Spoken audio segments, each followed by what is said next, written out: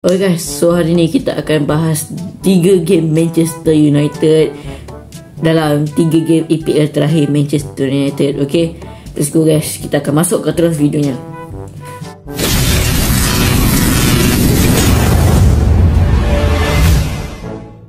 Okay, game yang pertama Manchester United lawan dengan Bournemouth. Okay. Mula-mula game tu kan, aku rasa macam Yelah, ah uh, Bournemouth boleh kalahkan Liverpool. Jadi tu yang aku takut tu adalah hati aku si lah. Bournemouth ni boleh kalahkan Manchester United Sebab Liverpool boleh kalahkan Manchester United. Bournemouth boleh kalahkan Liverpool. Jadi feeling aku Manchester United kalah lawan Bournemouth dengan skor 1-0 Tapi tak sangka lah kan Casemiro skor gol dengan break flip macam tu. Yalah. First time kita tengok uh, Casemiro black flip eh, Black flip orang panggil uh, assist daripada Erikson lah. Dan uh, bila kita bila aku tengok game tu corak permainan Manchester United dalam game ni lebih kepada defend lah.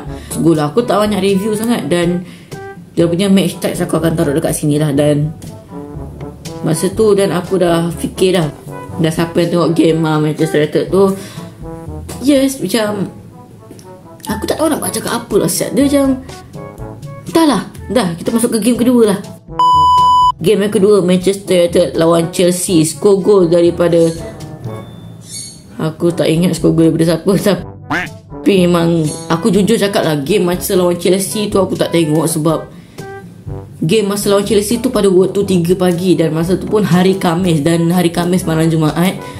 Kalau aku nak tengok pun esoknya sekolah. Memang aku sekolahnya sesi petang tapi walaupun aku sekolah sesi petang aku tidur gitu tak cukup guys Match startnya pukul 3 pagi Dan pukul 3 pagi Aku dah aku dah tahan tidur lah ni. Aku dah, dah, tahan tidur. Tapi last aku tak boleh. Aku kena tidur juga tu. Kalau aku tak tidur Nanti esok aku tak cukup tidur kan. Macam mana? Jadi Itulah aku tidur tu. Aku jadi aku tak tengok lah. Jadi Apa feeling aku? Aku tengok uh, Orang bahas-bahas tu Okay lah. Game Manchester United uh, Mengganas untuk dapat 3 poin. Patutnya Manchester United Kena dapat lagi 1 poin je Untuk uh, masuk ke UCL tapi tak tahu tak sangka pula Manchester United boleh kejar dengan skor Chelsea dengan uh, 4-1 masa tu. Dan aku rasa itu aku bersyukur gila. Aku sebab awal pun aku tak tengok tapi aku pin live score. Jadi bila aku sesedar itu aku tengok pin live score 4-1 in game Manchester United paling best lah bagi aku. Okay, uh, game kedua pula iaitu game aku lawan eh game aku lawan game Manchester United lawan Fulham. Ini adalah game yang betul-betul Manchester United kena raikan last orang last game orang Manchester United untuk uh, tamatkan EPL pada tahun ni dan uh, dapat tiga mata lah. Tetapi pada minit ke-19 Tete uh, menjadikan gol corner daripada buat Fulham. Oh shit. Serius lah Manchester United takkan kalah dalam game ni Aku memang ada ajar aku. Tolonglah comeback. Tolonglah comeback. Seri tak apa. Yang penting comeback tu je yang aku nak. Lepas tu kan Sekali pula Casemiro buat hal. Dia buatnya penalti Si Fulham. Aku rasa macam Dah lah. De Gea adalah kelemahan penalti. Last-last penalti pula.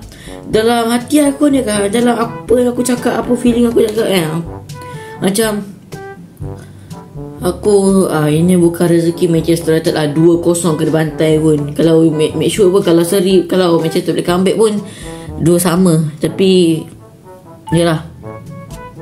Fikir-fikir balik. Hati aku tolonglah tolonglah. Tolong kan tolonglah Digi dapat tepis.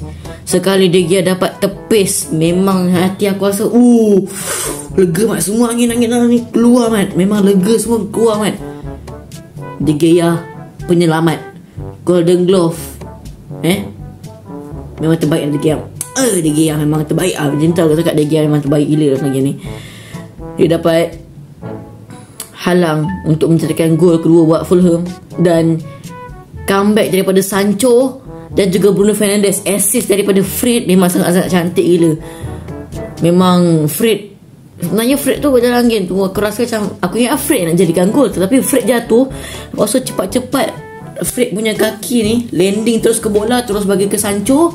Dan Sancho terus menjadikan gol. Memang gempak gila lah macam tu cakap dan game kedua ni pula uh, Bruno Fernandes uh, jadikan gol yang kedua dan 2-1 dan memang gempak gila lah.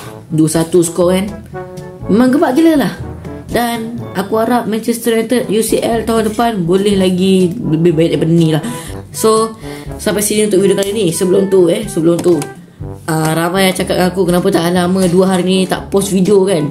Sebab aku Sehari Sehari Isnin Aku ada pergi tengok bayang Polis Evo Polis Evo 3 lah. Aku tak boleh nak review lah. Kalau aku review kan Kalau aku review nanti jadi spoiler. Nasib baik Lebih baik aku tak payah review lah sebab kalau aku review pun Bukan korang nak tengok pun Korang mesti dah tengok kan? Mesti korang dah tengok Dah tengok dulu kan? Nah, Jadi mesti korang tengok dah. Jadi Takkan aku nak cakap lagi Mesti korang dah tengok lah. Dah tengok sendiri kan? Dah tengok lah sendiri. Okay? Dan Semalam pula Aku sambut hari jadi ayah aku Dan Pergi jalan-jalan lah. Dan ini vlog dia Aku akan tunjuk foto ni. Pau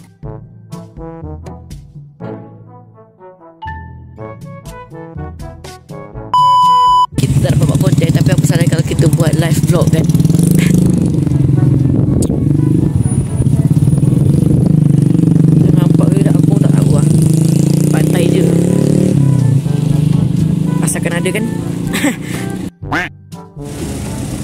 Eh dari tepi, tepi sana tu kan Kisah ni daripada tentera British dulu uh,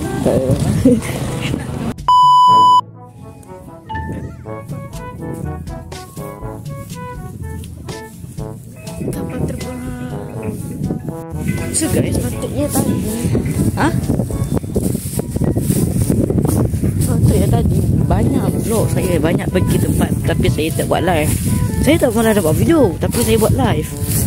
Tapi live ni saya akan potong sikit-sikit lah untuk masuk ke dalam vlog saya. So, uh, sekarang kita dah ada dekat tempat kapal terbang ni dan kita nak naik dia. Kita terbang lah, buat lari kapal terbang ni. So guys, dah tak ada apa-apa kat sini. Go. Kita akan pergi ke tempat lain mungkin tak tahu lagi. Dan so jom, let's go. Okay, macam dah tengok kan video tadi. Sebenarnya masa tu aku tak pergi mana-mana dah. Aku just makan coconut shake. Lepas tu terus balik rumah tidur. Sebab aku tak post langsung video tu. Video semalam tapi walaupun tak full videonya tapi okey lah kan. Tak apalah. So, sampai jumpa kali ni korang jangan lupa like dan subscribe dan sampai tinggal dan insyaAllah aku akan buat lagi video pada hari ini tapi dalam waktu malam pukul, pukul 1 pagi tu lah kot. So, bye-bye. Assalamualaikum.